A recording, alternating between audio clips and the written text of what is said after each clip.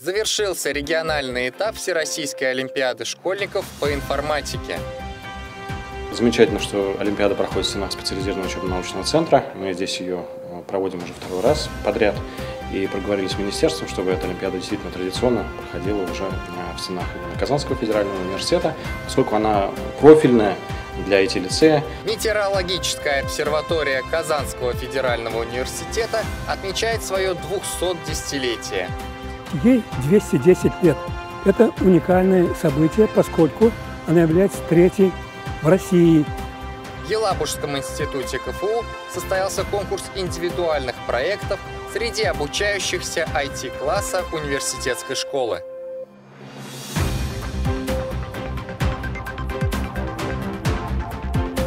Всем привет! В эфире «Универ News», а в студии Никита Егоров – Министерство науки и высшего образования Российской Федерации представило рейтинг медийной активности высших учебных заведений за декабрь 2021 года, в котором Казанский федеральный университет занял третью позицию.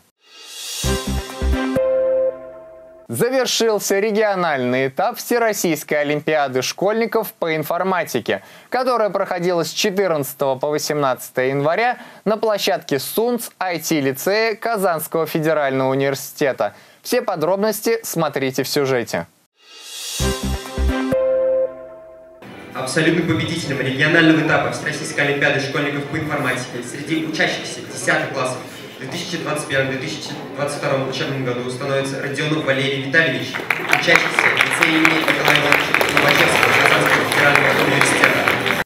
Площадка Сунс IT-лицея уже второй раз становится местом проведения Всероссийской Олимпиады школьников по информатике. Олимпиада проходила в два этапа. В ней приняли участие школьники 7 по 11 классы. Основные задачи были посвящены программированию. Созданы все условия для того, чтобы проводить эту Олимпиаду. Место проживания самое лучшее, проведение в аудиториях комфортно, удобно. Есть все технические условия есть все ресурсы для того, чтобы эту Олимпиаду по информатике ежегодно проводить именно в IT-лицее. Ребятам нравится, нравится нашим педагогам, учителям, которые готовят ребят, э, руководителям команд, Поэтому огромные слова благодарности руководству, администрации IT-лицея, Казанскому федеральному университету за созданные современные, самые лучшие условия для проведения Олимпиады по информатике. В этом году в интеллектуальном состязании приняли участие 228 учащихся республики. Из них 76 стали победителями и призерами. Среди них 11 учащихся из лицея имени Николая Лобачевского КФУ, 18 из СУНС IT-лицея.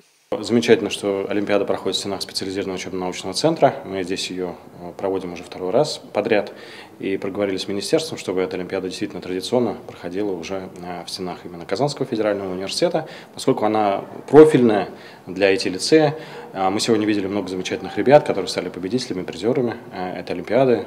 Ряд ребят ждут международные, федеральные этапы, и мы желаем им успехов.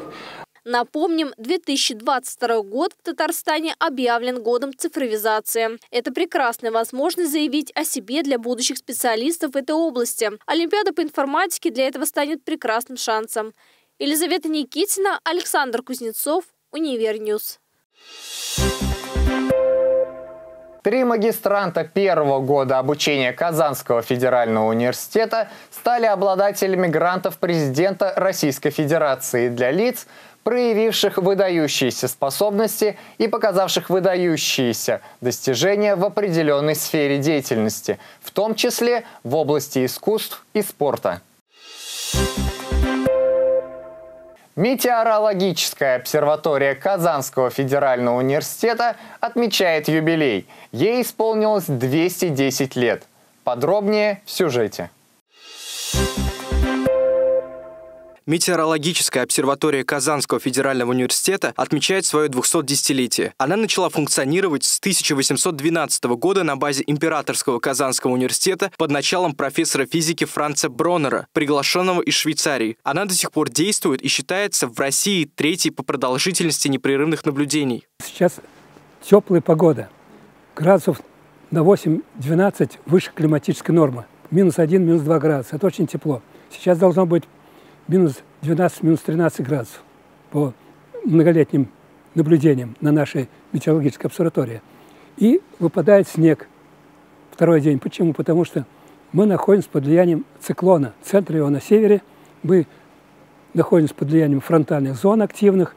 И поэтому вот такая у нас своеобразной погоды. Расположенная во дворе университета метеостанция является памятником истории. Здесь в свое время работал профессор математики и физики, изобретатель астрономических часов Иван Запольский, который еще в 1805 году приводил сюда студентов и учил их метеорологической грамоте. Также здесь трудились Николай Лобачевский и физик и магнитолог Всеволод Ульянин.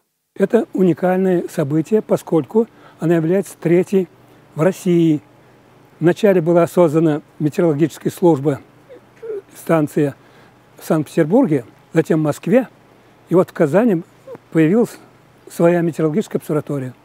Это связано с тем, что через Казань раньше проходили экспедиции Беринга. То есть здесь у нас уже был опыт определенных метеонаблюдений, но вели эти метеонаблюдения учителя казанских гимназий – Обсерватория регулярно освещает обзоры погоды. Там же размещается актуальная информация о текущей погоде на станции Казань-Университет. Здесь размещаются данные о температуре воздуха, скорости и направлении ветра, атмосферном давлении, относительной влажности и об атмосферных явлениях. Осуществляются актинометрические измерения. Фиксируются явления, которые имеют место в атмосфере. Погода наша обуславливается здесь, на нашей территории, так называемым западным процессом, Атлантикой, и поэтому у нас все время волны идут – теплее, холоднее, суше. В данной обсерватории работают студенты. Такая практика существует уже более 200 лет. В почетном свидетельстве, выданном Метеорологической обсерватории Казанского университета Федеральной службы России по гидрометеорологии и мониторингу окружающей среды, отмечено, что результаты наблюдений входят в состав Государственного фонда данных о состоянии окружающей природной среды и является достоянием Российской Федерации. Амир Ахтямов, Фарид Захидаглы, Универ News. Сотрудники научно-клинического центра прецизионной и регенеративной медицины Казанского федерального университета опробировали медицинские зонды компании Farmed Polis RT.